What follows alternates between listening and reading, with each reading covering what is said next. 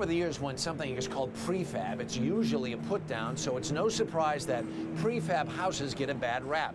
But here's a surprise many beautiful, sophisticated homes are now being built in factories, and architects are embracing the idea. When you think of prefab houses, you may picture inexpensive cookie cutter homes.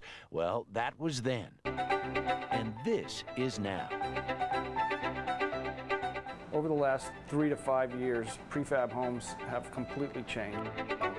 They've become much more highly designed by architects.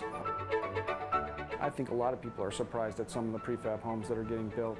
Very high quality, very good design.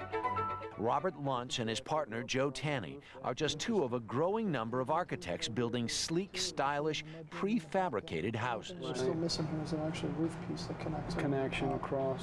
We've developed a system of design where we have modules of use that can be reconfigured in different ways. By creating flexible designs that use prefabricated building methods, Luntz says he's able to keep costs down.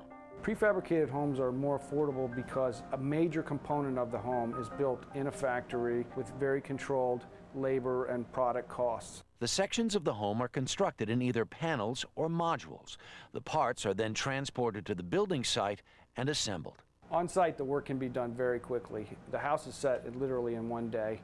I think depending on location, one could expect to save a good 25 to 30 percent and probably six months or more in time going with a prefab house. Luntz says that prefabrication has helped bring homes like these within reach of the masses. I don't feel there's any reason that somebody should be living in a cookie cutter home when a highly designed, architect designed home is available to them.